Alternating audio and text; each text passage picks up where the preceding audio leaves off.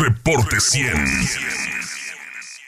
Marina Reyes Roldán es consultora senior de Integralia y le agradezco que esté con nosotros esta mañana. Marina, ¿cómo estás? Buenos días. Hola Juan Carlos, muy buenos días. Muchas gracias por la invitación. ¿Cómo está analizando Integralia el resultado de la elección presidencial, Marina?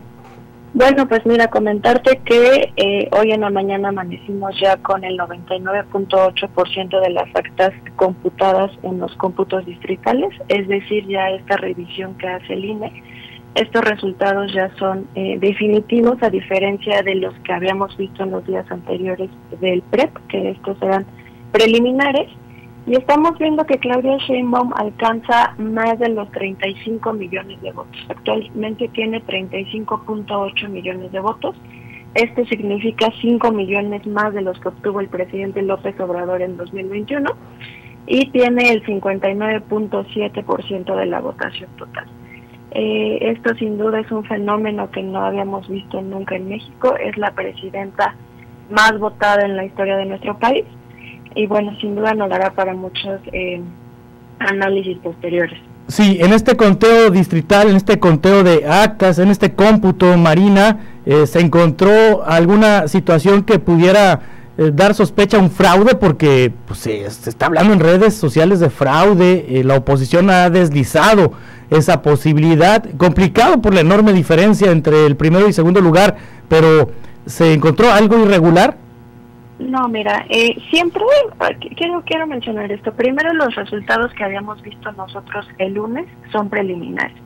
Eso siempre es una aproximación que nos da el INE para tener más certeza y para que nosotros eh, veamos cómo va la elección, pero no son definitivos. Entonces, cualquier acusación que sea con esos datos pues siempre se puede eh, cuestionar, ¿no? Porque son datos preliminares. Ahora, la oposición de cualquier partido político en general tiene derecho a desconfiar, tiene derecho a pedir que se haga un recuento. Entonces, en ese sentido, eh, pues la oposición está en su derecho de decir, ok, que se hagan actas, ok, quiero revisar esto. Eso ya se hizo. Y también quiero mencionar que este, esta apertura de paquetes electorales, que es lo que entregan los funcionarios de casilla el domingo que nosotros votamos, eh, es normal, siempre lo hacen. En esta ocasión más o menos el 60 y algo eh, de paquetes electorales fue abierto para la presidencia. En 2018 abrieron el 75%. Esto es normal, esto no es indicio de que haya algún fraude.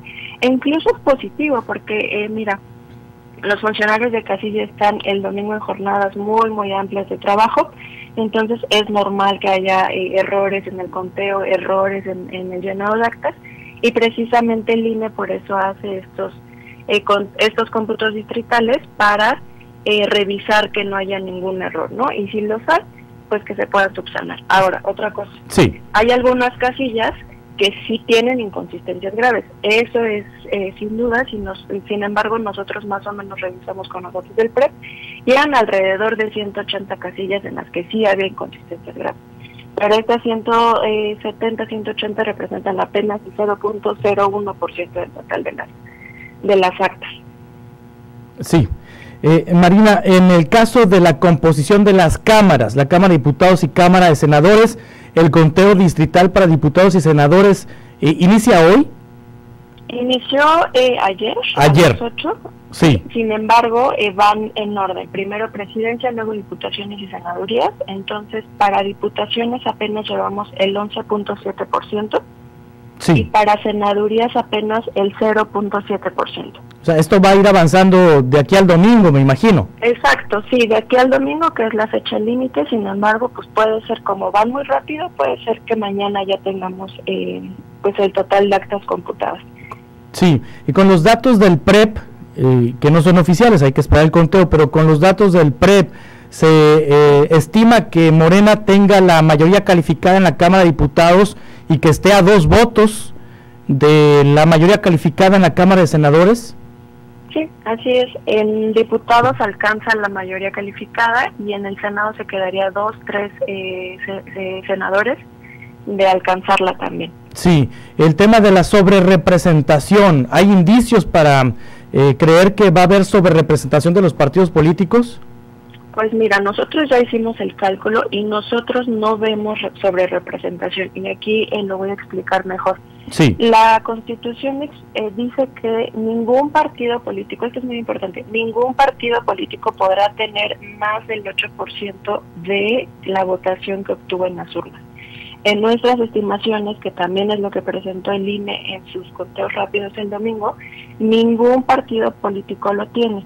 Lo que están mencionando en redes sociales y en algunos medios de comunicación es que si nosotros hacemos el cálculo por la coalición entera, es decir, sumar Morena, PT y el Verde Ecologista, entonces sí se alcanza una sobrerepresentación del 16%, es decir, el doble de lo que marca la Constitución.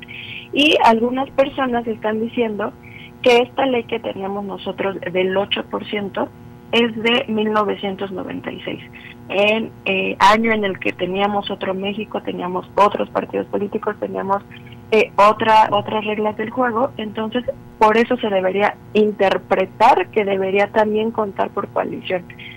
En mi opinión, esta no es una facultad del INE que el, que el Consejo General pueda decir, ok, ya cambió la situación de México, entonces no hay que considerar eh, partidos políticos, sino coaliciones. Eso no le corresponde al Consejo General, en mi opinión. Eso tendrá que ser tema de una reforma electoral que venga posterior a este proceso electoral. Pero lo que hoy tenemos en la ley, lo que dice claramente, es que es por partido político y no por coalición. Sí, de hecho ayer los consejeros electorales eh, y el representante de Morena ante el defendieron la fórmula de distribución de los legisladores. Eh, el consejero Jaime Rivera y U. Eh, Espadas eh, admitieron que la norma de distribución de plurinominales puede ser no equitativa, pero es la regla que se debe aplicar. Es lo que, es lo que dice este consejero electoral. Lo cito textualmente, no es del todo equitativo un sistema que permite esta sobrerepresentación, pero así lo ordena la Constitución. Esto lo dice Jaime Rivera, quien enfatizó que en ella no se establece un tope por coaliciones, sino para partidos. Y eh, Kib Espadas reprochó a PAN y haber ajustado la constitución cuando fueron mayoría para corregir esta distorsión en la asignación de legisladores. Y lo cito textualmente, no se vale reclamar que no hay proporcionalidad directa cuando PAN y PRI pudieron haberlo establecido en la Constitución desde el año 2000 y no lo hicieron, es lo que están diciendo los consejeros electorales. Es decir, el INE está actuando bajo las reglas que existen. Exacto, y que precisamente los legisladores eh, es lo que hicieron, ¿no? Eh, insisto, yo no considero que el INE tenga esa facultad para interpretar leyes, no es lo que le corresponde. Sí, sí, eh, en, en este proceso legal, bueno, terminan los conteos distritales para diputados y senadores, para, y ya terminó el de presidencia de la República. ¿Cuándo le entregan la constancia de mayoría a Claudia Chainbaum? Sí, ahorita eh, va a empezar el tiempo de la fiscalización y también eh, van a venir, va a venir la ventana para presentar eh, quejas, impugnaciones, se, estas se resuelven y la fecha límite para, para que sea la calificación de la elección presidencial es el 6 de septiembre. Sí, e, eso lo hace el Tribunal Electoral. Exacto, eso lo hace el Tribunal Electoral para la presidencia. ¿Y antes el INE le entrega una constancia de mayoría? sí, así es. Sí, que esto va a ser el domingo, eh, tengo entendido. Exacto. Si luego ya vienen los procesos de impugnaciones y demás, eh, ya será el Tribunal Electoral el que, el que, el que califique la elección, el que valide la elección. Y, y, y ahí cómo le van a hacer, porque no está completo el pleno del, del, Tribunal Electoral del Poder Judicial de la Federación, van a tener que jalar a algún decano, van a tener que jalar a algún magistrado eh, no sé, de otra sala, no sé, este, algún funcionario del propio Tribunal Electoral?